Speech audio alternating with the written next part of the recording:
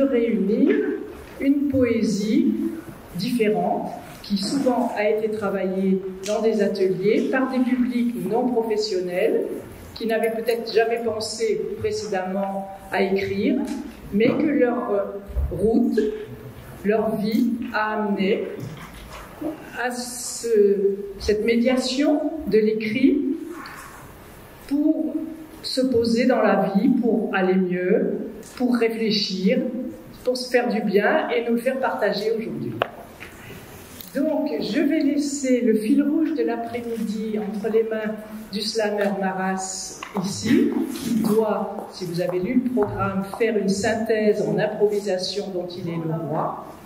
Et donc, euh, je lui laisse la parole pour présenter les personnes, les associations, et que chacun y trouve surtout du plaisir. Aujourd'hui, pour démarrer, on va avoir plusieurs profils de personnes qui vont partager des textes, parfois de leur création, parfois des textes d'auteurs qu'ils apprécient. Ce qui est sûr, c'est qu'on va avoir des textes qui viennent de partout. On a fait des ateliers à Dax, avec le CADA, avec des personnes qui ont fait un trajet qui peut parfois être long, parfois moins long. On a des personnes qui arrivent d'Albanie, des personnes qui arrivent du Bangladesh, des personnes qui arrivent de Colombie. On en a d'autres qui même viennent d'endroits que je ne connais pas. On a même peut-être quelqu'un qui va arriver, je ne la vois pas encore, mais on a peut-être quelqu'un qui va également euh, venir d'Ukraine. Donc on va avoir plusieurs textes qui vont se mélanger et surtout plusieurs langues. Et il y a un poète que j'apprécie, dont le nom est Mark Smith, qui disait toujours If you don't understand the poem, feel it. C'est-à-dire que si vous ne comprenez pas le poème, ressentez-le. Et c'est ce qui va se passer avec euh, les langues différentes qu'on va découvrir, qu'on va entendre aujourd'hui en première partie. Vraiment, on peut ressentir des choses à travers les sonorités d'une langue, à travers l'intention et à travers l'intonation de chacun. Le premier qui va démarrer, alors en l'occurrence, c'est quelqu'un qui n'est pas de Dax, c'est quelqu'un qui, je crois, est de Bordeaux. Ce qui est sûr, c'est que au moment où je l'ai rencontré, avant de démarrer, il m'a dit J'ai un texte que j'ai écrit qui parle de mon regard sur la jeunesse et d'une jeunesse brisée. Ce garçon que j'ai rencontré tout à l'heure, il s'appelle Sheikh.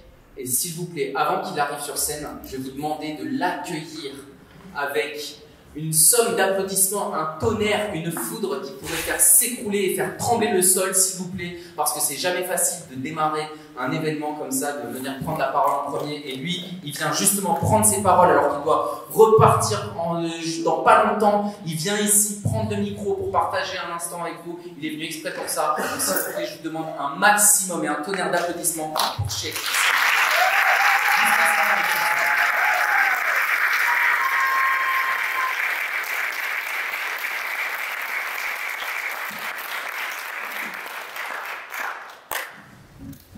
Bonjour.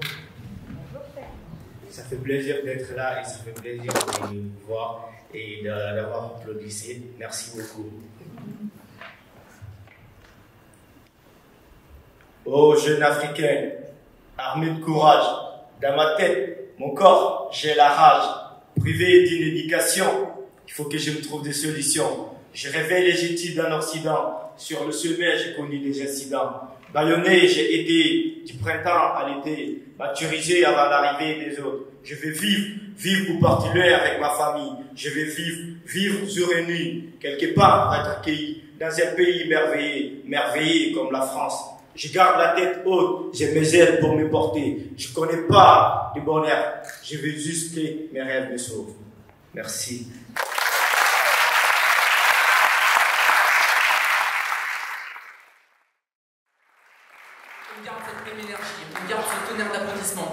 accueil, s'il vous plaît, pour un poème qui va nous venir du Bangladesh. S'il vous plaît, des applaudissements cette fois-ci, nous vient de Dax aujourd'hui, Parto.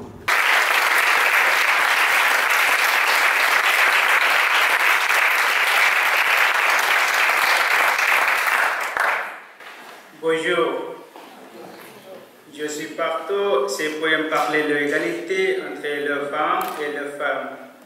Ces poèmes est destiné aux femmes et mon pays. Mon pays.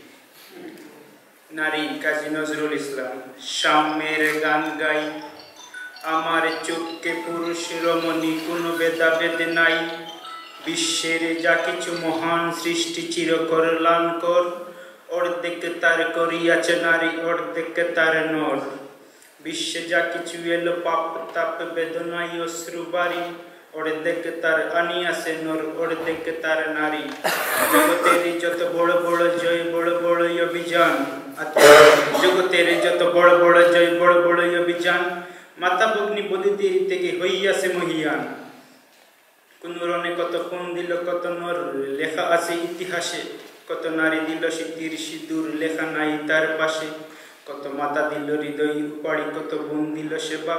বীরের স্থিতি স্তম্ভের গায়ে লিখিয়া রেখেছে কেবা কোন কালে কত খয়নি কবি পুরুষের তোর বাড়ি প্রেরণা দিয়াছে শক্তি দিয়াছে বিজয় লক্ষ্মী নারী সে যুগ হয়েছে বাসী যে যুগ পুরুষ দাস ছিল না কো নারীরাই আসিলে দাসী বেদনার যুগ মানুষের যুগ সাম্যের যুগ আজি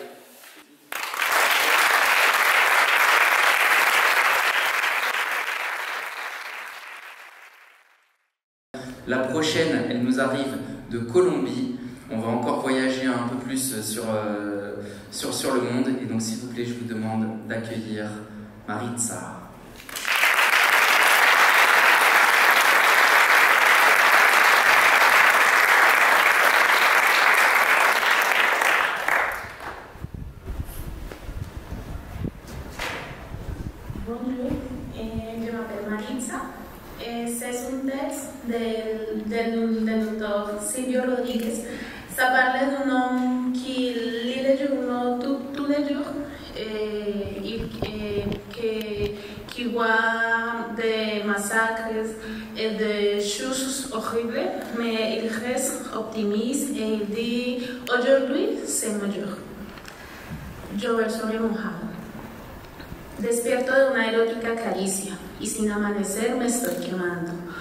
Que antes del fin de la delicia la luz me diga a quién estoy amando. Hago un café romántico, barroco. Recorro mi cabeza en agua fría y en el espejo veo al viejo loco que cada día piensa que es su día. Vaya forma de saber que aún quiere llover sobre mojado. Leo que hubo masacre y recompensa, retocan la muerte, el egoísmo. Reviso pues la fecha de la prensa, pareció que ayer decía lo mismo. Me entrego preocupada a la lectura del diario acontecer de nuestra trama y por la sesión de cultura que el pasado conquista nueva trama. Vaya forma de saber. Salgo y pregunto por un amigo de aquellos tiempos duramente humanos, pero nos han podrido el alma, degollaron su alma en nuestras manos. Absorto, suponer que el paraíso es solo la igualdad, las buenas leyes. El sueño se hace, cada, se hace a mano, ar- arando el porvenir con viejos bueyes. Vaya forma de saber. Un obrero me ve y me llama artista. Noblemente me sube a su estatura. Y por esa bondad mi corta vista se alarga como un sueño que madura. Y así termina el día que relato, con un poco de tristeza y de agua fría. Mañana volverá con nuevo impacto el sol que me evapora y me da prisa.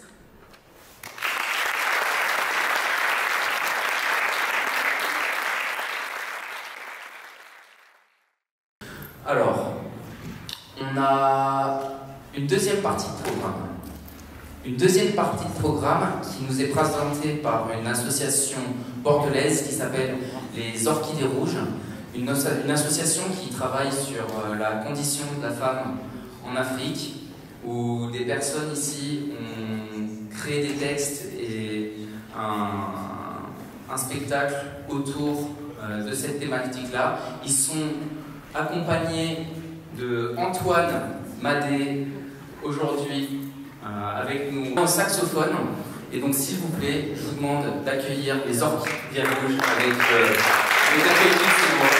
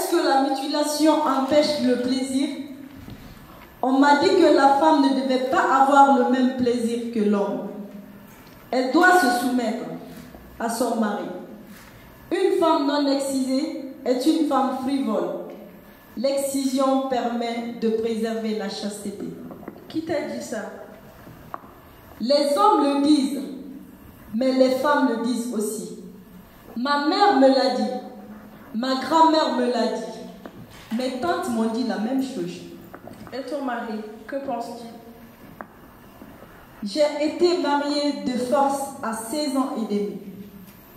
J'étais sa troisième femme pendant 8 ans. J'ai réussi à demander le divorce, mais aussitôt après, j'ai été remariée à un autre homme par mon oncle en Arabie Saoudite.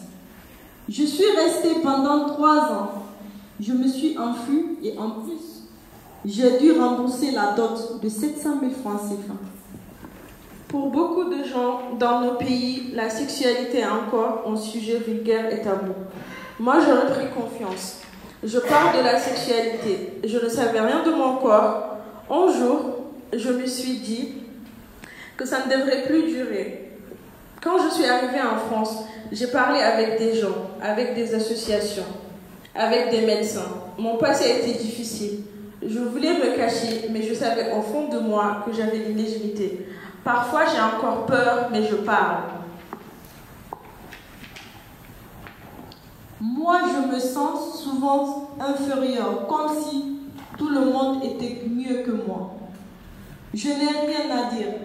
Parfois, je me dis qu'il ne me reste que la prière. La dernière fois que j'ai prié, c'était au mois de décembre, dans le cas pour Abidjan, précisément destination à Gamé pour faire mes achats d'habits de bébé, activité que je me forçais à faire. Dans mes pensées, les regards lointains, je priais ainsi à l'intérieur de moi. Seigneur, en cette année 2019, je te présente ma vie. Regarde ma vie. Ma mère vient de me quitter. Je n'ai pas encore fini de la pleurer. C'est au tour de mon père de me lâcher la main. Mélange de douleur intense, découragé, désolé. Je regarde dans le néant et je me demande qui viendrait me sauver de ce monstre et vieux pervers qui me servait de mari et de son beau-fils, Paul, qui me violait à chaque fois. Ils ont abusé de moi chaque fois qu'ils ont eu l'occasion. La dernière fois que j'ai prié, je me suis souvenu de mon baptême. Le Père m'a dit que j'étais devenu enfant de Dieu. Je lui ai donc demandé, si c'est vrai, Père, que ma décision de fuir loin de mon foyer, loin de ces abus sexuels, soit exaucée. Permets que je réussisse à m'échapper. Donne-moi seulement les moyens, le courage et l'intelligence nécessaires d'aller jusqu'au bout. Soutiens-moi, empêche que l'on me rattrape. Tourne ton regard de miséricorde si ma si triste vie. Tu as dit qu'il fallait aller vers toi si l'on était fatigué. Je suis fatigué, je suis épuisé.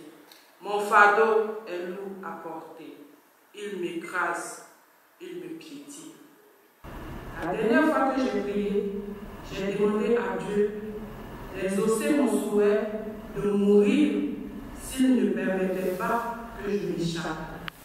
J'ai prié aussi pour que le cas ait un accident dans lequel je perdrai la vie.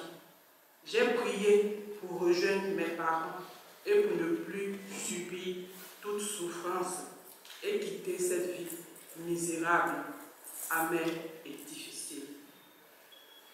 C'est comme ça que j'ai prié dans le bus qui me menait à Agamé. Je n'y croyais pas vraiment. Aujourd'hui, je regarde ma vie. Je me dis que j'ai eu de la chance. Avec l'aide des orchidées, avec l'aide des femmes d'ici et d'ailleurs, victimes elles aussi d'abus sexuels, j'ai surmonté beaucoup de choses. J'ai un autre regard sur ma personne et je me découvre comme une femme forte, courageuse, avec du potentiel. Je découvre une personnalité me plaît de plus en plus. Désormais, je vais pouvoir travailler, avoir mon propre appartement, prendre seul mes décisions. Je suis une nouvelle personne depuis la régularisation de ma situation. Je me sens libre et épanouie. Je suis heureuse d'être en France et d'être acceptée comme je suis. Depuis toute petite, on m'empêche de parler. Tout vient de là. C'est douloureux. J'essaye d'oublier et de passer à autre chose. Est-ce qu'un jour la femme peut reprendre le contrôle de son corps, de son plaisir et de ses désirs? Oui, à condition de changer d'environnement. Si tu restes dans ton pays, tu seras mal vu, car la culture et le droit sont mélangés aux religieux. Si tu vas vers l'Europe, tu seras accepté. Le changement du regard est possible. Est-ce que toi, tu connais une femme qui ait dénoncé le système de l'excision et du mariage forcé? Moi, je l'ai fait et d'autres femmes l'ont fait. Donc c'est possible et ça fait du bien. La liberté, c'est de choisir sa sexualité, connaître le désir, l'épanouissement. Oui, mais tu vois, ce qui est complexe, c'est d'avoir été élevé avec une certaine représentation de la femme. Ma mère me disait aussi qu'une fille doit fermer ses cuisses. Un jour, j'ai entendu des cris de joie dans mon village. Ma mère m'a expliqué que les gens étaient joyeux car une jeune femme était déclarée vierge. Quand même, Omo, tu ne trouves pas que ça manque de pudeur? Il y a des lois. Nous avons des droits. La Convention de l'ONU interdit les discriminations à l'égard des femmes. Ah oui, l'ONU. Ils sont partout. Mais que font-ils? C'est bien joli leurs mots, mais qu'est-ce que ça change? Nous ne sommes pas libres. C'est vrai, mais poser les droits humains, c'est respecter la santé. Ça permet de fixer les limites, de dire non et d'être respecté. Tous ces coutumes peuvent te prendre ton intention, ta mémoire, ton esprit. La loi est absolument nécessaire pour avoir la chance de s'en sortir. Moi, j'ai encore l'impression que la femme en Afrique n'a pas trop le choix. Qu'elle doit se soumettre. En tout cas, dans mon village, ça se passait comme ça.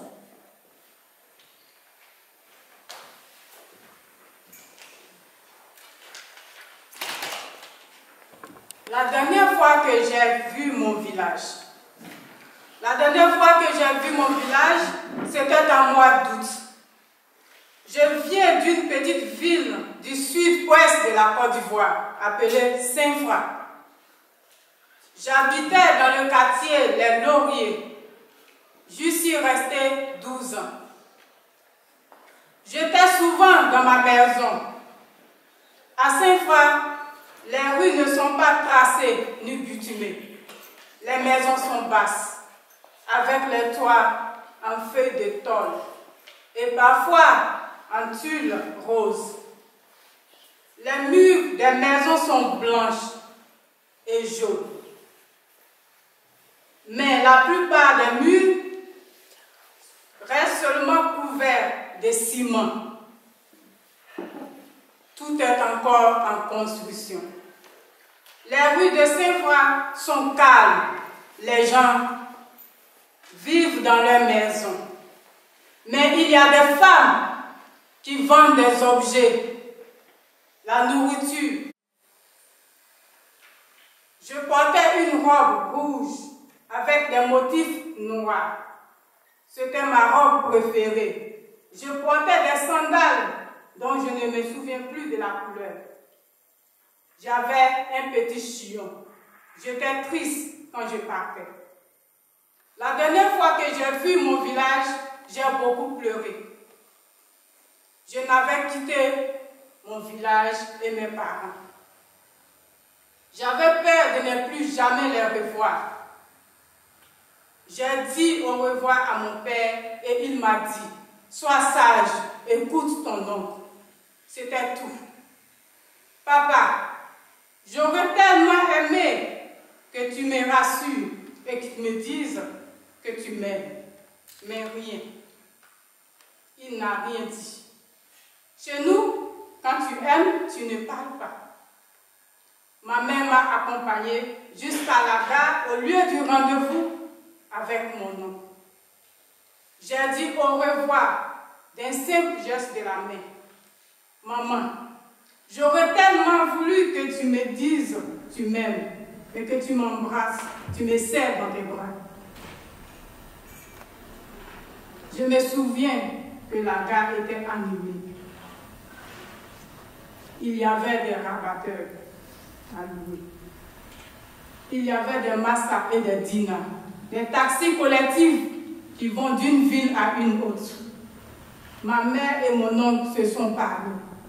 La dernière fois que j'ai vu mon village, je n'avais que 12 ans. La dernière fois que j'ai vu mon village, j'avais qu'un petit sac de voyage. Il y avait mes pannes, mes robes, mes crèmes pour le corps et pour les cheveux. Aucun cahier, aucun livre. Alors que je partais pour les études. Nous sommes montés dans le taxi. Il était 18 heures. C'était la dernière fois que j'ai vu mon village. C'était la dernière fois que j'ai vu ma mère. C'était la dernière fois que j'ai vu ma terre verte. J'ai revu mon père trois ans après. J'étais partie pour devenir la domestique de mon oncle et me faire marier. La dernière fois que j'ai vu, j'ai quitté mon village, j'avais 12 ans.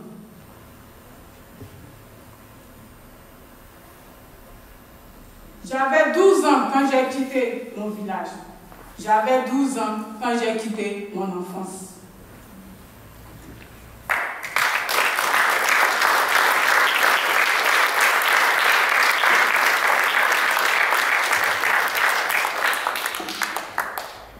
Le problème, c'est l'ignorance. L'ignorance entraîne la manipulation. Il faut propager le message au plus grand nombre. Nous avons le droit de parler. Tu en veux à ta mère de t'avoir excisé toi? Je suis burkinabé et je vivais en Côte d'Ivoire, dans un quartier du centre. La sœur de mon père était exciseuse.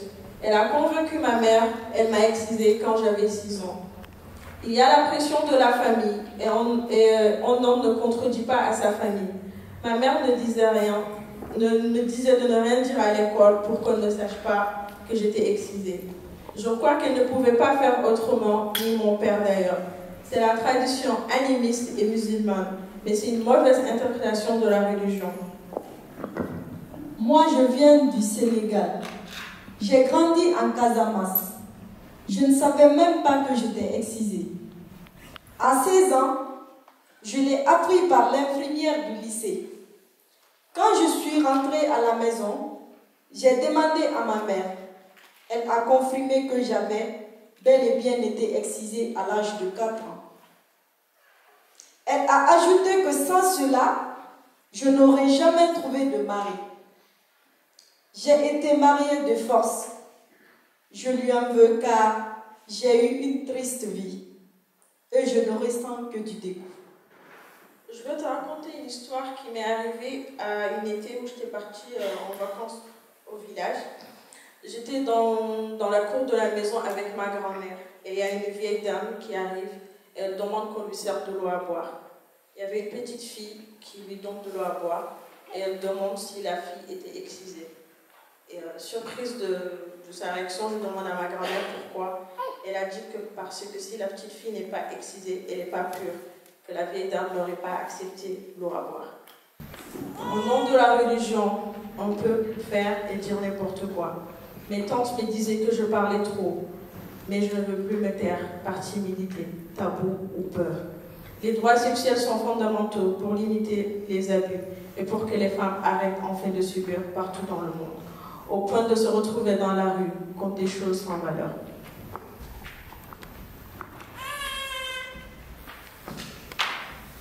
La dernière fois que j'ai rêvé du Sahara, j'ai réalisé comme je lui manquais. Le Sahara, c'est là où j'ai grandi. Le Sahara, c'est là où j'ai joué avec mes amis. On courait derrière les chameaux toute la journée. On leur donnait à manger. Il y a le vent qui souffle. C'est le vent des poussières. Il fait 50 degrés sous l'homme. Il ne pleut pas. Il y a un petit lac mystère. Il est bleu. Il est entouré de sel. On voit des petits crocodiles qui ne sont pas méchants. Le sable du Sahara est marron. Il se déplace. Au soleil, il brille. Je me, rappelle du lait des chamelles que moi-même j'extrayais. Il est sucré salé. Je me rappelle de ma qui pilait le mil avec le lait. On nous donnait des longs bâtons pour nous protéger des loups. Ma grand-mère est morte. Les bâtons ne m'ont pas protégé des hommes. Les hommes sont forts. Ils m'ont fait du mal. C'est à cause d'eux que je n'ai jamais revu les Sahara. En France, quand je suis arrivée, j'ai dormi plusieurs semaines dans la rue. On avait des couettes sur le sol, à côté de l'hôpital Saint-André. J'avais froid.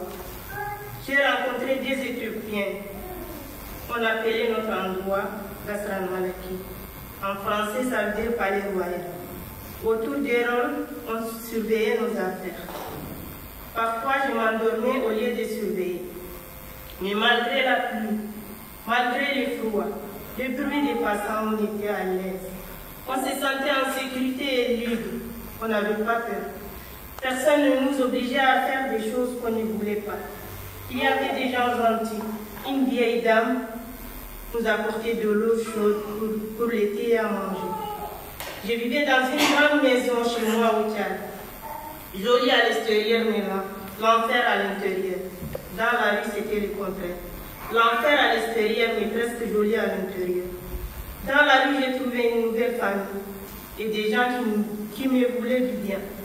Mais des amis sont partis à Calais après à Londres. Et moi, j'ai trouvé une stabilisation à Périgueux. Souvent, je rêve du Sahara. La dernière fois que j'ai rêvé du Sahara, c'était il y a trois mois. J'ai couru avec une amie d'enfance pour aller chercher de l'eau dans les montagnes. On a trouvé un bout de montagne. Je me rappelle, mon ami a cassé son canal. C'était un beau rêve. Je me dis qu'un jour, tout ira, chez, tout ira chez moi et que je vais retrouver mon Sahara.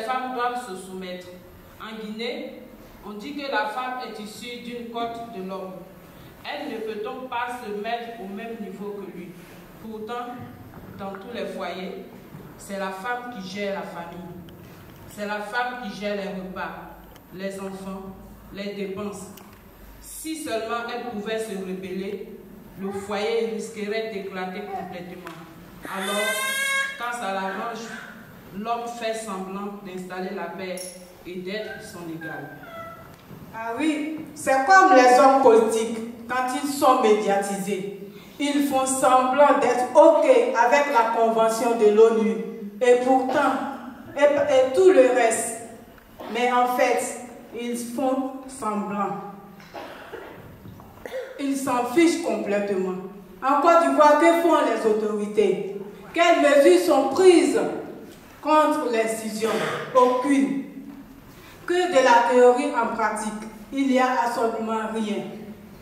Il y a même des femmes qui arrivent à des postes importants. Mais quel que soit ton niveau d'études, quel que soit ton agent, il faut que tu te taises. L'homme passe toujours avant.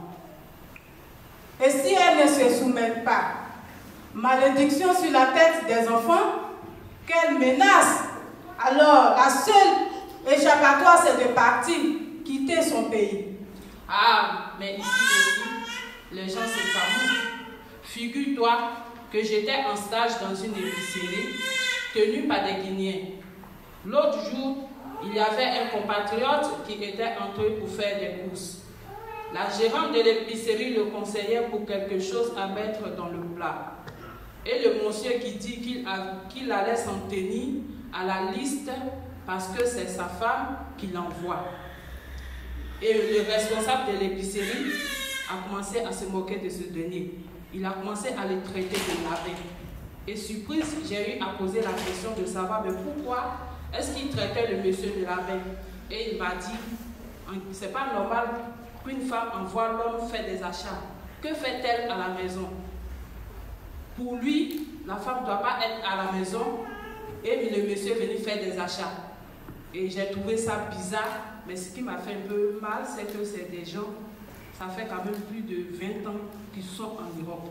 Et ils continuent de penser ainsi des femmes. De toute façon, la femme n'a jamais son mot à dire, ni de parler, ni de réfléchir, ni de diriger. Avoir du plaisir, se laisser aller et même parfois danser, ce n'est pas pour elle. La dernière fois que j'ai dansé, c'était il y a quelques jours. J'étais à mon cours de danse. Ça a duré une heure. Je ne sais pas pourquoi, mais j'ai pensé que c'était peut-être la dernière fois que je dansais. Il faisait froid, gris d'or, il y avait. J'étais dans une grande salle éclair. J'ai dansé sur du zouk. Au départ, mon corps était tendu, mais je me suis laissée aller. Je n'étais pas seule. Cette musique évoque la douceur, elle me rend nostalgique. Elle me rappelle les moments où j'étais avec ma famille et que nous écoutions de la musique. Ces moments ne reviennent pas.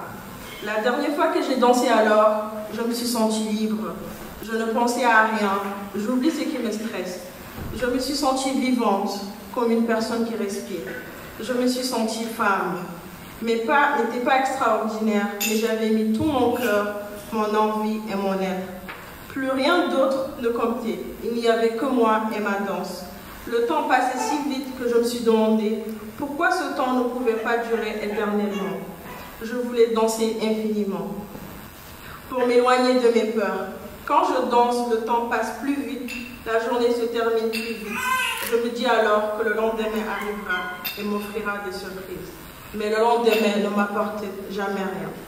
La dernière fois que j'ai dansé, je me suis vue danseuse étoile sur une scène à Broadway. Ce n'est pas que je voulais danser sur une scène, mais tout à coup, je me suis retrouvée dans un autre univers plus léger, insouciant, inconscient.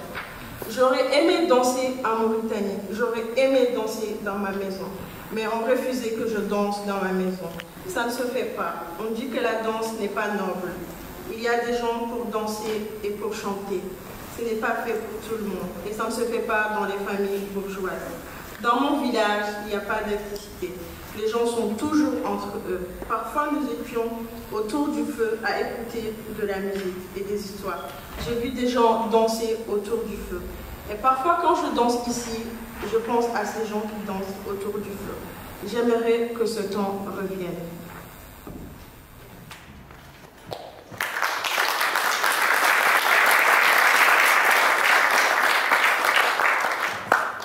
En Guinée, la polygamie est interdite le consentement de la première épouse. Mais en fait, on ne lui laisse jamais le choix. L'homme a le droit de demander à sa femme tout ce qu'il veut. Elle, a sa, elle est sa possession, son esclave. Et ni ta famille, ni les autorités ne te protègent. Et le pire, c'est qu'il n'y a pas de solidarité entre les femmes. Ce sont elles-mêmes qui perpétuent aussi la tradition. Une fille de 14 ans peut être donnée en mariage à un homme de 50 ans ou de 60 ans. La pauvre va souffrir toute sa vie, mais elle sera bien vue par la famille et par sa belle famille. Et aussi, les enfants auront une belle vie. Des femmes qui ont osé riposter sont parties comme ça, du jour au lendemain. Et aujourd'hui, personne ne sait où elles sont. Elles ont disparu. Vous y croyez-vous à toutes ces histoires? Bien sûr, on peut te jeter un sort par des marabouts. Tu sais, il y a des mystères. Des gens peuvent faire de sorte que tu ne sois rien dans la vie. Tu ne peux pas porter plainte. On va te reprocher de traîner tes parents en justice, d'être une fille déloyale. Donc la seule solution, quand même de partir. Il faut, attendre, une occasion qui se présente pour s'échapper. C'est quand tu pars que tu t'en rends compte que tout ce qu'ils étaient en train de dire était faux. Oui, l'Afrique a ses mystères.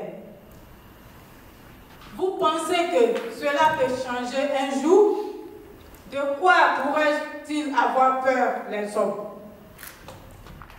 Mais qu'est-ce qu'on peut y faire? Quand tu arrives ici, il y a un écart tellement grand entre là-bas et ici que tout ce que tu as vécu, tu as du mal à oublier. Tu gardes en toi la peur et la colère. Pourtant ici, on fait aussi ce qu'on veut. Quand tu rencontres un homme, tu peux lui dire non, mais on n'est pas vraiment habitué. Et en plus, il y a beaucoup d'hommes noirs et blancs qui, qui profitent des femmes sans papier surtout. Moi, si je rencontre un homme aujourd'hui, je peux lui dire non. Ici, on te demande ton avis, on te laisse choisir. Ton point de vue compte. Je veux garder des choses positives de ma culture et transmettre à mes enfants.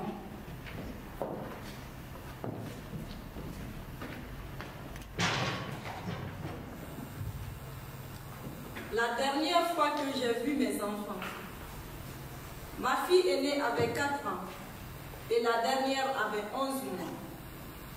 Je suis partie précipitamment lors des événements d'octobre 2019 contre le troisième mandat du président de Chou.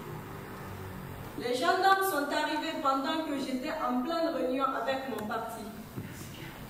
J'étais secrétaire chargée de l'organisation et de la mobilisation des femmes.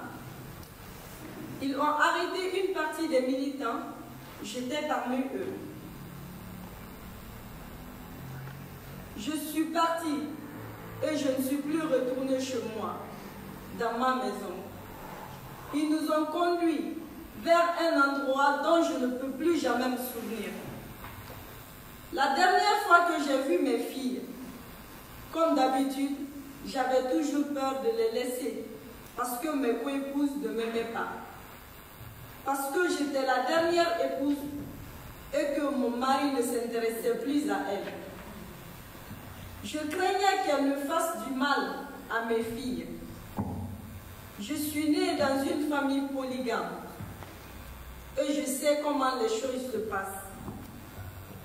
Quand ma mère n'était pas à la maison, les autres épouses m'exploitaient. Je devais faire toutes les tâches domestiques alors que je n'étais qu'une petite fille. Elle pouvait me battre. Elle m'appelait la fille de la sorcière. Je n'ai pas grandi dans une famille heureuse. Et c'est pour cela que j'avais peur pour mes enfants. Un jour, mon mari a levé la main sur moi, bien qu'il ne leur avait jamais fait de mal. Mes filles avaient peur de lui, car il était autoritaire avec ses femmes et nous traitait comme des objets. Elles étaient terrorisées par leur père. Ce jour-là, je suis donc partie à ma réunion en confiant mes filles à ma belle-sœur. Je les avais lavées soigneusement avec des poudres blanches. J'avais fait des tresses à ma fille aînée. Elle adorait que je la coiffe. J'étais la seule à pouvoir toucher ses cheveux. Je lui inventais des coiffures. Elle avait des beaux cheveux. Claire, ma deuxième fille, est plutôt foncée. Elle a pris de mon côté. Quand je suis partie, ses cheveux n'avaient pas eu le temps de pousser. L'aînée avait une robe bleue avec des manches courtes, légèrement évasées. Elle avait un débardeur blanc. Elle portait des sandales. La petite était en pantalon avec un body, mais je ne me souviens plus de la couleur. Les souvenirs s'effacent. Mes filles étaient joyeuses. Dès le matin, au réveil, elles avaient l'habitude de me caresser le visage. Je faisais semblant de leur mordre et elles éclataient de rire. L'aîné me disait toujours, Tata, tu es réveillée, tu vois tes cheveux, il faut te tresser. Elle voulait que je la porte dans le dos comme sa sœur. J'en mettais une donc dans mon dos et j'accrochais la seconde sur mes reins. Ma petite, quand elle avait faim, ne pouvait rien faire d'autre que de manger. L'aîné jouait avec des poupées et s'amusait à les tresser. J'achetais des jouets au marché de Madina. Elle m'accompagnait et adorait ça. Mes filles avaient peur des autres personnes. Je ne laissais jamais personne d'autre que moi s'en occuper. Nous étions toujours toutes les trois et je m'absentais rarement de la maison sans elle. Sauf en cas, je me rendais à mon parti. La grande était en grande section, à l'école maternelle. Tout se passait bien. Elle était vive, parlait beaucoup. Et l'institutrice disait qu'elle était intelligente. Elle savait compter jusqu'à 15. Connaissait déjà une partie de l'alphabet. Je suis partie de leur vie, du jour au lendemain. Je n'ai pas pu rentrer chez moi. Je suis partie en pensant que ce serait facile de les faire venir près de moi. Je me demande aujourd'hui si c'était une bonne idée. J'avais le choix entre partir et rester, mais être torturée par mon mari, mes co-épouses, ma famille et par la police. Je suis partie avec tous les rêves que j'avais pour mes filles. Qu'elles ne connaissent pas l'excision, ni le mariage forcé, ni la polygamie. Je voulais qu'elles apprennent à l'école, qu'elles sachent lire, se défendre, qu'elles parlent le français correctement pour que leur vie soit plus simple. J'ai raconté beaucoup d'histoires et de contes à mes filles. J'ai essayé de leur transmettre la culture mandingue parce que c'était important. Qu'elles connaissent l'histoire de leurs ancêtres et de leurs noms. Je leur ai appris à chanter des chants traditionnels, des devinettes. Nous avons dansé au son des balafons et des tam-tams Mes filles sont guinéennes et je voulais leur transmettre un amour de ce pays, de ce qu'il peut offrir de bon.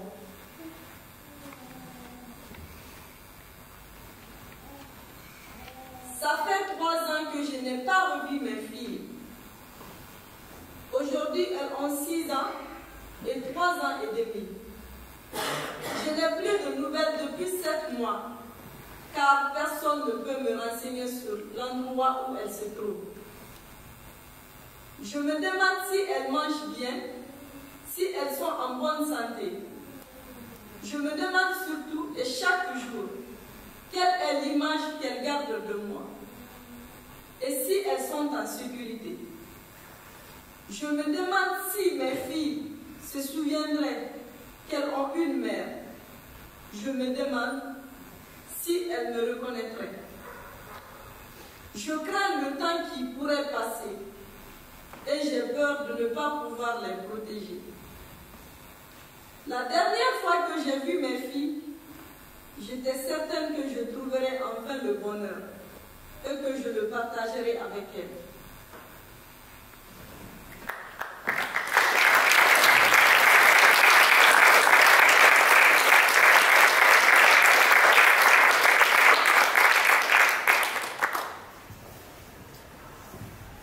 Avec le temps, on pourra parler de tout ça sans que ça ne fasse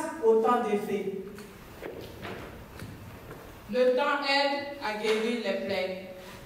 Ici, aux Orchidées Rouges, avec Isabelle Connor en art-thérapie, on nous donne le choix. On se fixe des objectifs. On a le sentiment de ne dépendre de personne ni des préjugés. On prend nos propres décisions. Et c'est ça, justement, le chemin de la reconstruction. Et c'est ça, le chemin de la reconstruction.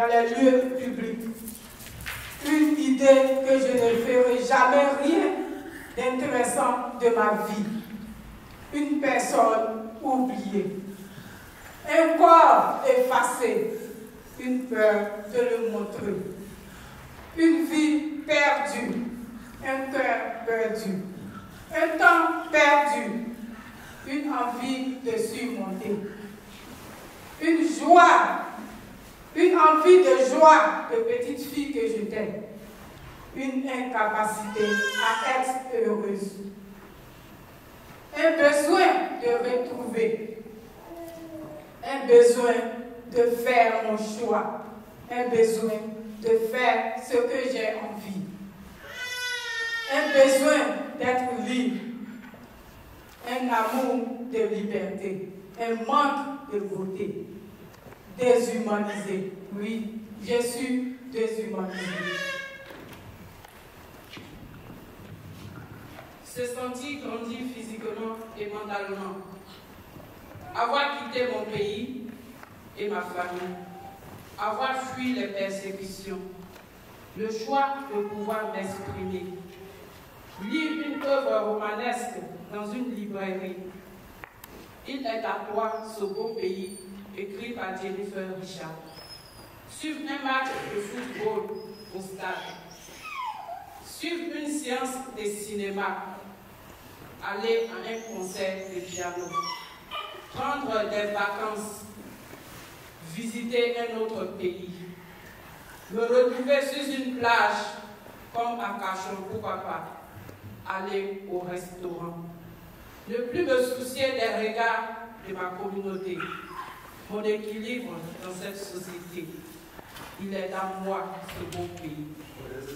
Une liberté de m'exprimer devant vous aujourd'hui. C'est cela mon autonomie.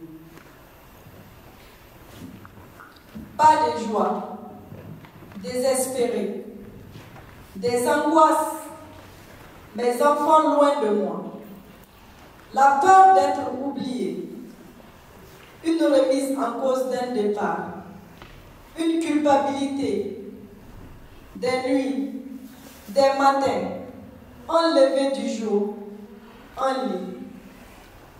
Une attente, une procédure qui dure, des doutes, une question, des projets qui ne commencent pas, pas de réponse, pas de plaisir, envie de me faire plaisir, reprendre tout à zéro, des études, des formations, une personne à m'aimer, un homme qui me chérit, des belles choses, un émerveillement, un pourquoi pas, un amour mérité, le désir de vivre, un corps respecté, plus d'argent, une voiture, une maison au pays, une petite entreprise, une chanson de princesse, une abeille,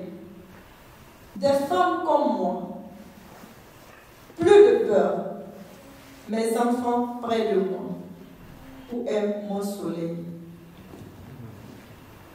La méchanceté des hommes, vendus par ma famille, les hommes de ma famille, perdre une famille, acheter ma liberté avec son propre argent, lui souhaiter l'enfer, et l'enfer n'a rien. Partir avec mes bijoux en or au fond de mon sac et quelques photos. Laisser tous les restes car rien n'a d'importance. Prendre mes décisions, respecter mes croyances religieuses, saluer et faire des bisous à un homme, travailler, lire, écrire, me mettre en maillot de bain, m'habiller comme je veux, passer mon permis de conduire. Les soleils qui s'élèvent, qui se couchent, les soleils qui se relèvent, personne ne les guide. être libre ici en France. Liberté, je suis libre.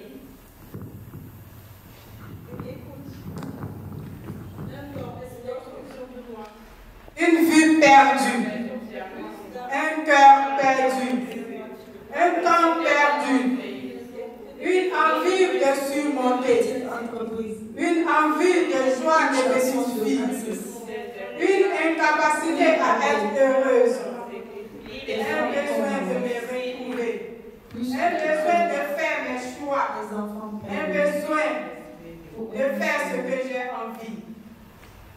Un amour de liberté, un manque de beauté, déshumanisé. Oui, nous sommes déshumanisés.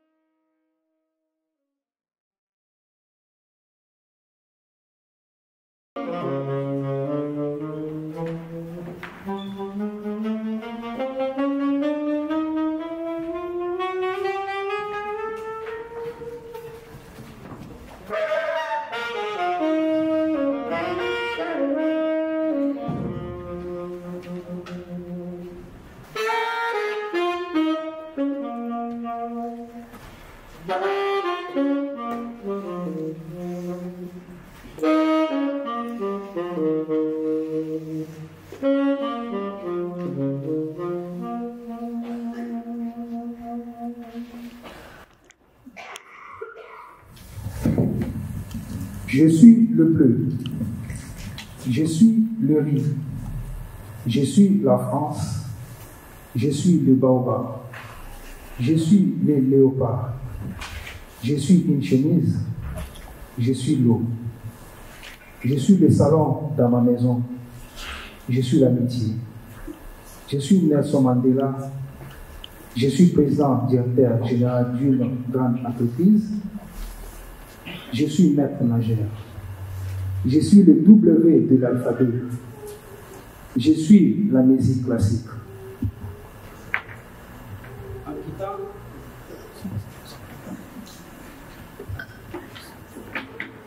En quittant mon pays, j'ai laissé mes frères et mes sœurs. Je suis le sixième de la famille. On n'a pas trop vécu ensemble. Après le décès de nos parents, chacun est parti dans des parcelles différentes. On a donc été séparés. C'est difficile. Tout petit, je n'ai pas connu mes parents. J'ai grandi comme ça. Tout le monde est parti. C'était compliqué. Depuis tout petit, c'était dans ma tête, je devais partir loin d'ici. Je devais aller ailleurs pour avoir une meilleure vie. J'avais envie de faire du bien autour de moi. Quand j'ai quitté la Guinée, je suis venu avec un ami malien. On a fait le trajet ensemble jusqu'en Italie. Il est arrivé en France avant moi. Je suis passé par Angoulême. et je suis arrivé à Mont-de-Marsan. Je suis arrivé par le bateau. C'était pas du tout facile.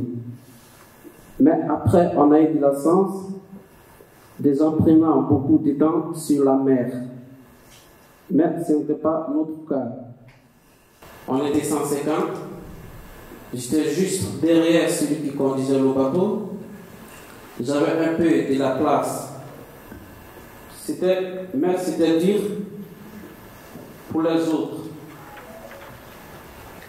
Sur le bateau, tu t'en sors ou c'est la mort. C'est juste les deux. Quand tu te vois sur cette mer, il n'y a pas d'arbre, c'est juste la mer. Il n'y a rien pour s'approcher. Si tu tombes, c'est la mort. Ou tu t'en sors? Quand je suis arrivé en Italie, j'étais heureuse. J'étais content. Et puis j'étais fier. Aussi, vu que j'étais rentré, parce que d'autres n'ont pas reçu. Je me souviens que je devais prendre le train. J'ai vu un message à la. Il m'a renseigné pour le trajet. Je suis allé voir mon référent pour venir à Bordeaux. Je me souviens quand j'étais en Guinée et en Côte d'Ivoire, je me souviens que j'ai grandi sans voir mes deux parents.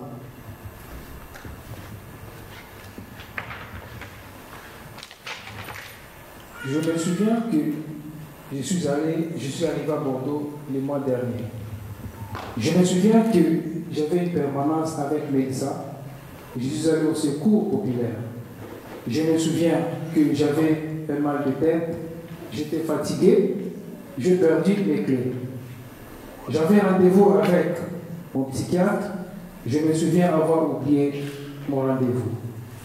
Je me souviens avoir vu des oiseaux sur ma fenêtre, avoir caressé un chien, avoir touché de l'eau froide. Je me souviens d'un documentaire que je regardais le matin. Il n'y a pas de vie sur Mars. Il n'y a plus qu'une seule fois qu'on est sur la Terre. Je me souviens que je, faisais de la musique au Congo. Il y a plus de 60 ans que mon cher et beau pays a eu son indépendance. Je me souviens d'une photo avec un ami, d'un appel vidéo avec ma famille. Je regardais toutes mes photos d'enfance. J'ai préparé des pâtes aux champignons. Je me souviens qu'on m'a invité dans un restaurant. J'ai mangé mon plat préféré. J'ai mangé du couscous. J'ai réparé ma télé. J'ai regardé les infos vers 22 heures. J'ai regardé un bon film. J'ai lu un livre. Je me souviens qu'il y avait du bruit dans mon appartement. Je me souviens qu'il a fait très froid la semaine dernière. Il n'y a plus de chaleur pendant l'hiver en France. Il n'y a pas de fumée sans feu. Il n'y a plus de neige à Bordeaux à cette date.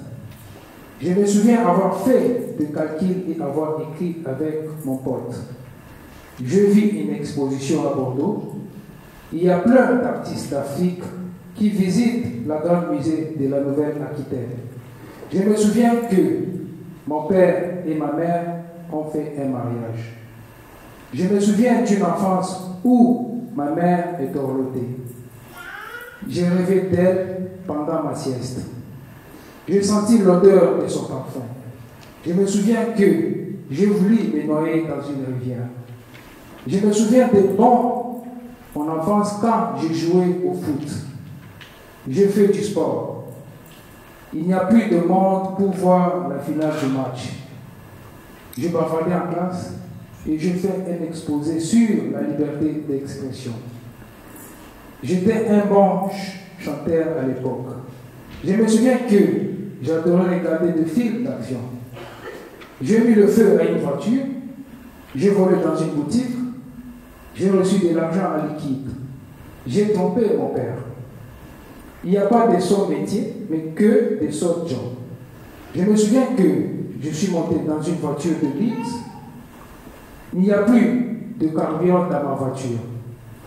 Je me souviens que je suis tombé amoureuse d'une fille de ma classe. Il y a tellement longtemps que je rêvais de partager mon amour avec cette fille. Il y a plus de deux ans, un ange m'est apparu dans un rêve. Je me souviens que j'ai fait un rêve extraordinaire dans la nuit. Il n'y a plus de guerre entre nous, faisons la paix.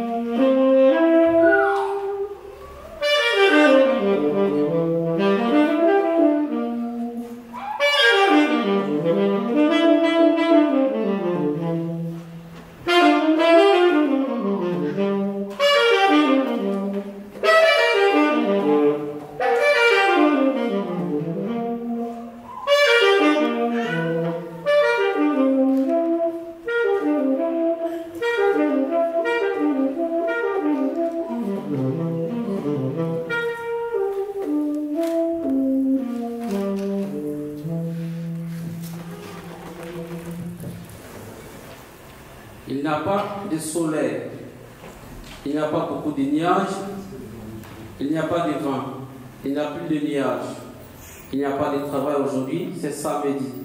Il n'y a pas de couleur, il n'y a pas d'amour quand on ne montre pas ses vrais sentiments. Il n'y a personne autour de vous si vous n'êtes pas entouré des bonnes personnes. Il n'y a plus de bus, je suis arrivé en retard. Il n'y a pas de voyage car je n'ai pas d'argent. Il n'y a pas d'heure car je n'ai plus de montre.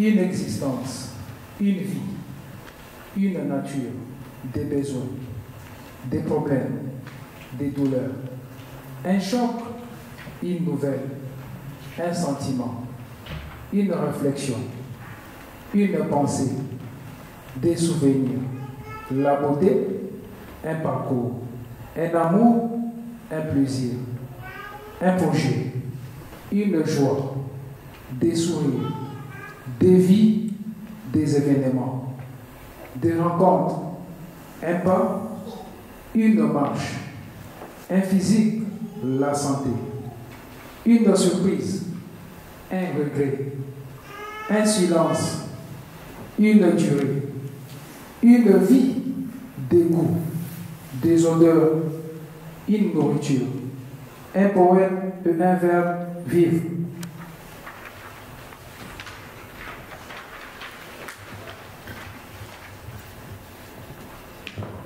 Pour toi, pas mon cœur, pour toi, pas mon cœur, qui a sauvé mon honneur, un pays, un parcours, une rencontre, une découverte, un aéroport, une gare, un plaisir, une réservation, un appel, des vacances, des fêtes, une star, un mariage, un poème et un verbe voyager.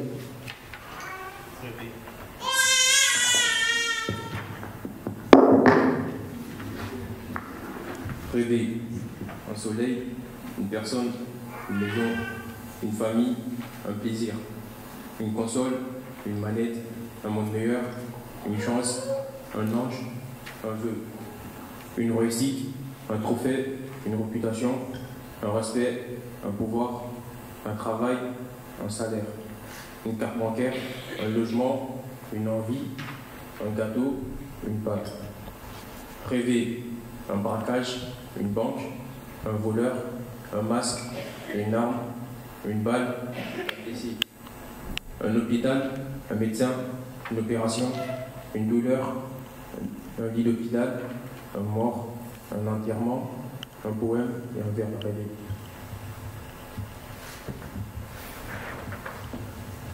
Une découverte, un monde, une nouvelle personne, un environnement, une photo, des chaussures, un départ, un chameau, une plage, un soleil, un poème et un verbe voyager. Un parcours, un voyage, un silence, un projet, un avenir, un poème, un verbe écoute.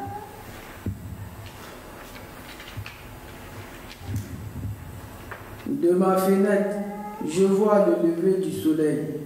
Je vois des arbres. Je vois le ciel bleu comme la mer. Souvent le ciel a des nuages. Et comme on est en hiver, le matin il y a beaucoup de brouillard. Il y a aussi un chien et des chats, un terrain de foot, des maisons, des voitures qui passent, des personnes à l'arrêt de bus. J'ai envie de te souhaiter une bonne année, une nouvelle année, santé, bonheur dans tout ce que tu entreprends et une longue vie. Et maintenant, je veux réussir dans tout ce que j'entreprends.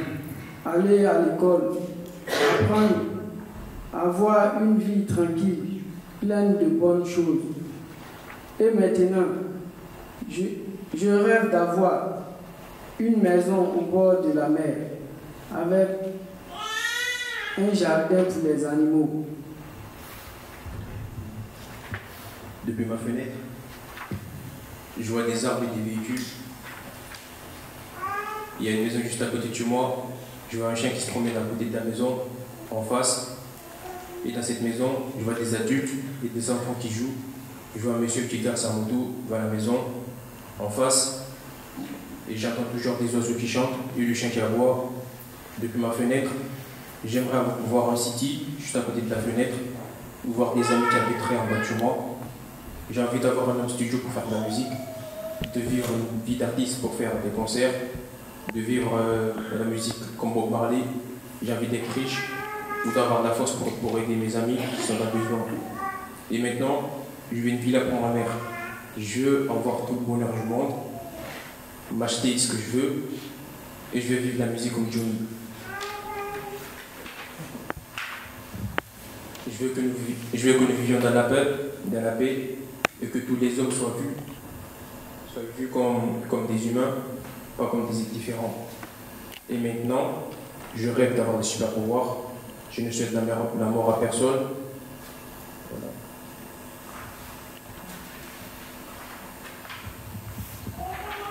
Dans ma fenêtre, le temps est beau, c'est l'été. Je vois le soleil qui brille et je vois la piscine qui a des couleurs bleues. Je vois un arbre qui a des fleurs vertes. Je vois une range ouverte, couleur rose. Et j'ai et un jardin bien coiffé. Je vois le bus qui passe. J'ai envie de vivre,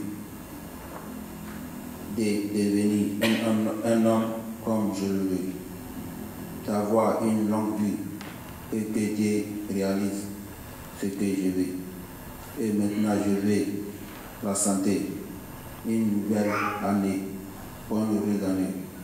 Et maintenant, je veux, je rêve de pardonner pour tout le monde. Je souhaite pas d'être un homme impardonnable. J'ai envie cette année d'améliorer mon physique car c'est important pour la santé. J'ai envie de voir ma famille physiquement, de visiter les chutes du Niagara au Canada, les sommets de la tour Eiffel, de réussir mon stage de cuisine japonaise.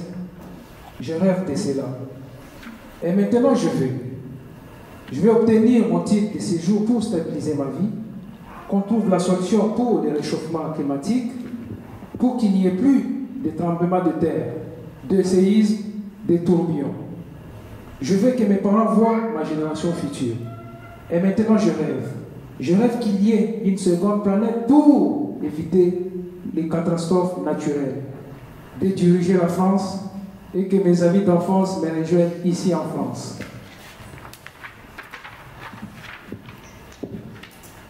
Je ne souhaite pas qu'il y ait encore de morts du Covid cette année. Je ne souhaite pas qu'il arrive des soucis à ma famille. Je ne souhaite pas rater mon permis de conduire. Et à aux braves écrivains et aux lecteurs, aux musiciens. Et à tous les poètes. Et aux personnes soignantes, aux sapeurs-pompiers, aux vaillants policiers et militants, militaires qui veillent sur notre sécurité aux bénévoles. Pour ceux qui luttent contre le tabagisme et l'obésité, contre les catastrophes naturelles, contre la pauvreté. Et à tous nos, héros, et aux génieux, aux géniaux inventaires physiciens, à ceux qui ont inventé la montre et la boussole, aux pilotes d'avion et aux astronautes, aux explorateurs, et à nos professeurs, au peuple juif massacré, à ceux qui luttent contre toutes les discriminations, pour ceux qui croient en leur propre pouvoir, et à ceux qui savent reconnaître le bien et le mal, aux humains car la vie n'est qu'un cycle de démarrage ou d'arrêt, et à pour ceux qui ne se soucient pas de ce que pensent les autres, car ils gardent la tête haute et plongent en avant. Et pour ceux qui croient en Christ, au tout-puissant Dieu créateur, et aux femmes victimes de toutes les formes de violence, à ceux qui luttent pour la parité, à tous nos militants qui luttent pour la bonne cause et à nos dirigeants, et à aux amis, au premier amour, à nos chers parents, à nos frères et sœurs, et à toutes les merveilles du monde.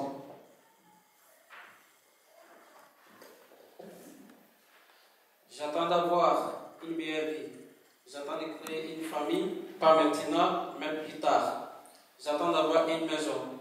Mes rêves, c'est de voyager parce que c'est bon pour l'eau mentale. Je vais aller au Brésil et en Australie. Je vais apprendre des choses. Je vais découvrir. Je pense beaucoup à ça. J'attends d'être dans des endroits qui font du bien.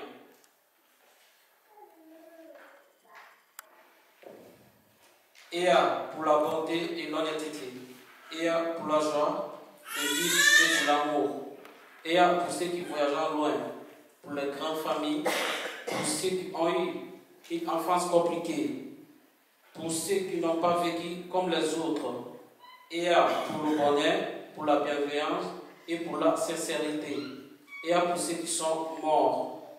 Pour, pour mes grands-parents, pour ceux qui travaillent dans le sang. Et pour ceux qui ne s'intéressent pas, s'intéressant pas à la politique. Pour les gens cool. Et pour les gens qui ne rendent pas la vie compliquée. Et pour ceux qui ne jugent pas et qui ne sont pas parfaits. Pour ceux qui respectent les autres. Ceux qui conduisent les hôpitaux et les écoles. Ceux qui font des grandes choses. Ceux qui sont sensibles. Et pour Tara et le souverain magique et pour l'humanité et pour la meilleure avenir. m'a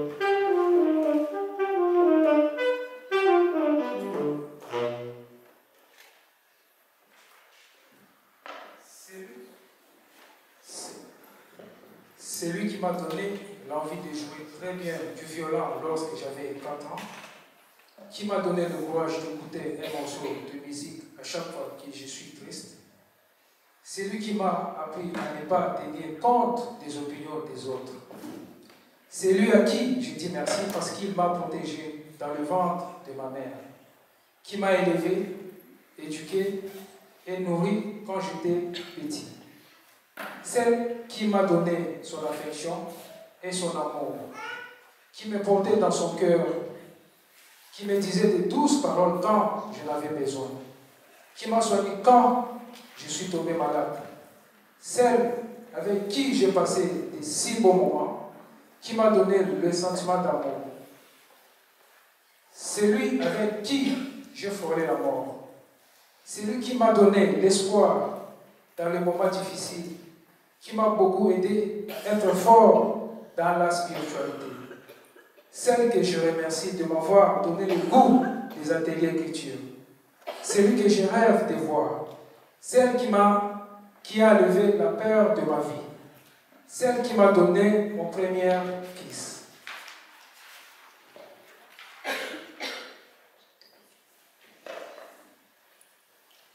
Celle qui m'a mis au monde, celle qui m'a aidé et qui me manque, celle avec qui j'ai passé du temps au lycée, celui avec qui je me suis entraîné, celle qui m'accompagne dans mes démarches, celui avec qui j'ai fait la traverse, celle avec laquelle j'ai fait un bout de parcours, celle qui m'a vraiment aidé.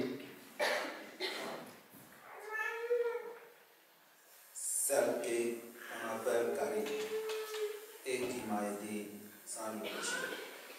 Celle qui, celle qui, dit merci pour tout ce qu'elle a fait pour moi. Je prends 30 secondes pour dire merci. Je dis je t'aime. Celle qui t'a transmis beaucoup, qui à côté, qui partage c'est la, celui avec qui je n'étais pas d'accord, mais à la fin qui devient mon ami, celui avec qui je partage ma passion, celui qui devient mon pote dès le premier jour des cours, celui avec qui je fais tout, celui qui me conseille, celui qui m'a poussé à me lancer dans le rap, celui qui, celui qui écoute mes musiques, celle qui me conseille de trouver un studio. Celle qui représente le lien du cœur avec ma famille. Celle qui m'a apporté la joie.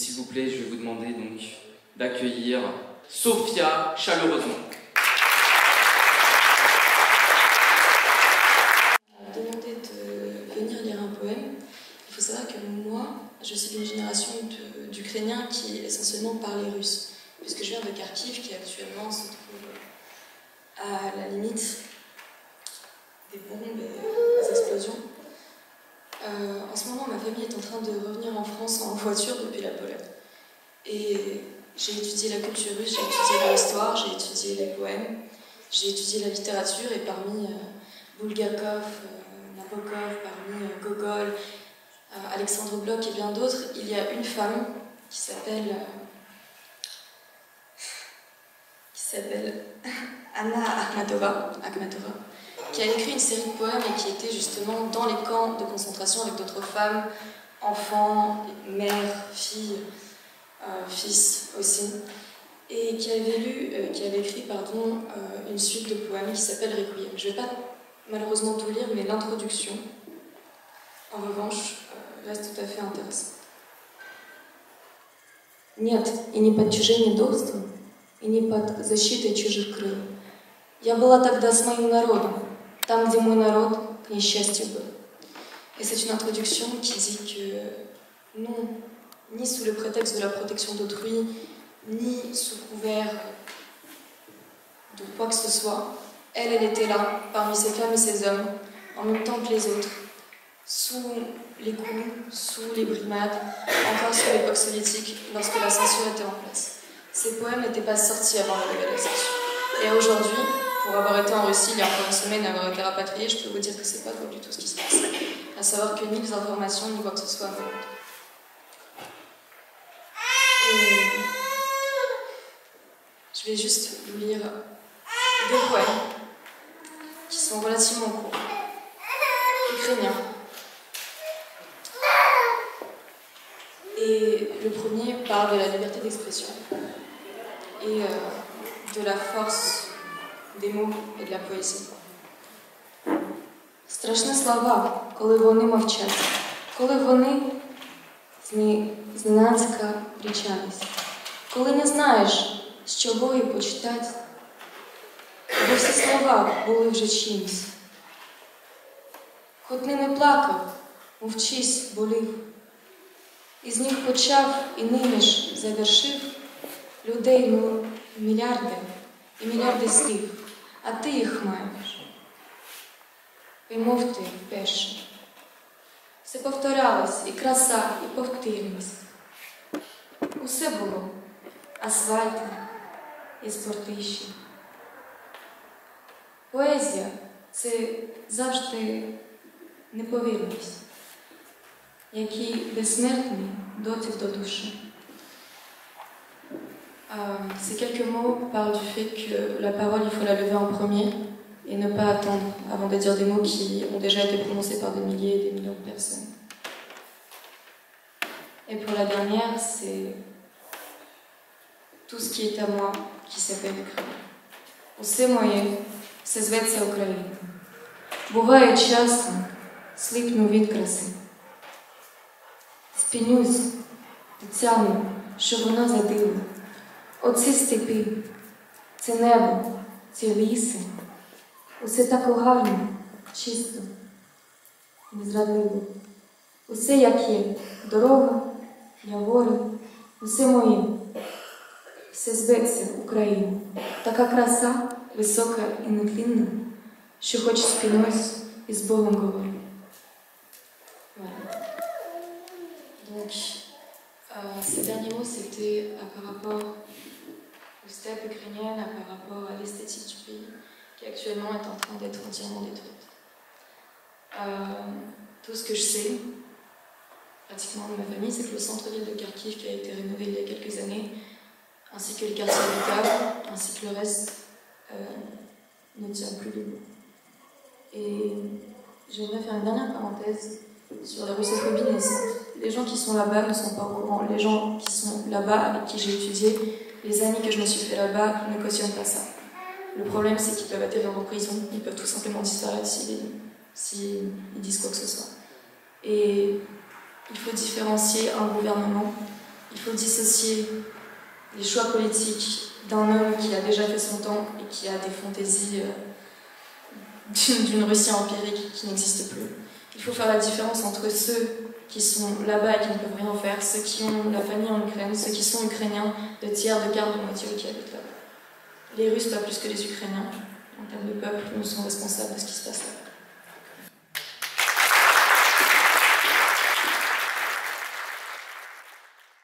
demander justement de partager un, texte ici et maintenant euh, avec moi. Pour ça, je vais vous demander de me donner des, des mots, des sensations qui vous viennent de ce que vous avez vu aujourd'hui sur scène. Et avec celle-ci, on va composer un poème improvisé. et- Est-ce que quelqu'un a une sensation, un mot qui vient à l'esprit de ce qu'il a fait aujourd'hui Moi, sur la mémorisation, s'il vous plaît, quand même. Donc, émotion, niette, espérance, courage, force de vie, lutte, pax, canor, spasiba, spasibo, mire, drujba, lyrie, l'Afrique, les femmes et mar. Ok.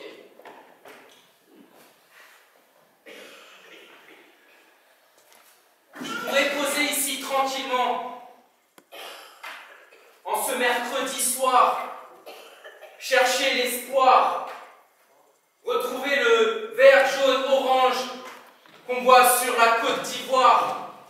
Je pourrais te dire qu'ici, des rimes, j'en ai tout un paquebot. Vert, jaune, orange, j'improvise, je te dessine même un drapeau pour ce pays qui encore maintenant voit le résultat des luttes entre un Ouattara et un Gbagbo. Je continue des rimes, je t'en fais des cadeaux. Écoute ça, je t'en délibère et je te les donne. Mais maintenant, tout ce que les gens veulent, c'est juste implanter des McDo. Des mots, j'en ai plein, j'en ai des radeaux. Je continue de te dire qu'ici, cette rime, attends, je la sèche. Je pourrais venir d'Albanie, de Colombie ou même du Bangladesh. Les rimes, il faut que je les pose un peu de partout, n'est-ce pas, partout. Je reparto. Des rimes, j'en ai plein. Tu peux te dire que dans ma tête, ça bouge. Ouais, je vais te cueillir des fleurs et te ramener des orchidées rouges. Des orchidées rouges, j'en ai plein. Et je me dis qu'il faut que je m'utilise celle-ci. Ouais, tu vas peut-être pas la valider, oui, c'est décidé.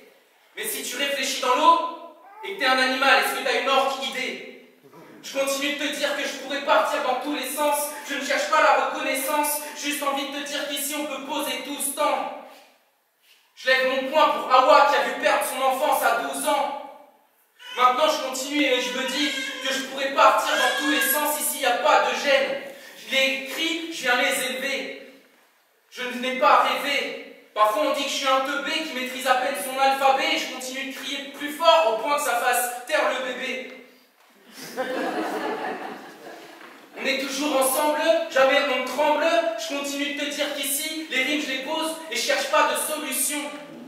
Pour résoudre nos problèmes, je n'ai pas la potion, mais je sais qu'ici, on est tous réunis autour d'une même émotion. Des rimes, j'en ai plein. Je les fais brûler comme une allumette. Le cash tête et plus personne ne m'arrête. Pendant que tu danses sur les tendances, alors je t'appellerai marionnette. Un peu d'en fait, t'en fais ta tête, fais la fête, fais la quête de l'effet qui monte en pète pendant que mon fleur embête et tu t'entêtes, et tu t'entêtes, et tu t'entêtes, et tu t'entêtes à me dire qu'il faut que j'arrête et moi je te dis niette. Alors je continue de crier à tue-tête en me disant qu'ici je ne cherche pas la vraie France. Ici moi je préfère quand les mots y dansent, qu'ils viennent de tous les pays parce que c'est ce qui me donne de l'espérance. Si tu l'espérance, si tu laisses le respect entre là-dedans et tu ne tourneras pas les pages. Moi, tous ceux qui sont venus sur scène, ils nous ont fait preuve de courage. J'ai juste envie de te dire qu'ici, je ne vais pas te donner de facture ni de devis, parce que finalement, moi, je paye avec la force de vie. La force de vie, la force, je la lis, la force, je te dis qu'ici, je cherche pas sa Rosalie, juste envie de te dire qu'ici, je ne vais pas marquer le but. Finalement, peu importe où on vienne, on a toujours des luttes. Des luttes, on les continue, et finalement, on les mène. Et moi, je te dis qu'ici, on s'en fout de ce qu'on a dans nos gènes. Moi, j'ai juste envie de te dire qu'ici, je viens donner le max. Moi, au début, j'ai interprété différemment le mot Pax. Fallait que je te dise que là-dessus, j'étais pas trop souple. Je crois que quand tu parlais de Pax, ben, en fait, tu parlais des couples. Mais quand je prends un mot, on me dit des couples. Alors c'est pour ça qu'ici, je donne le max et que je le revois à sa version et son étymologie latine, le mot Pax.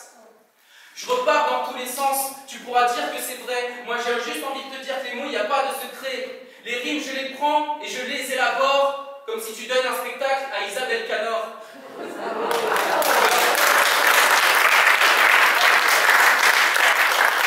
Tellement elle est forte, je perds pas le nord, que quand on va aller au tram, bientôt ils vont le renommer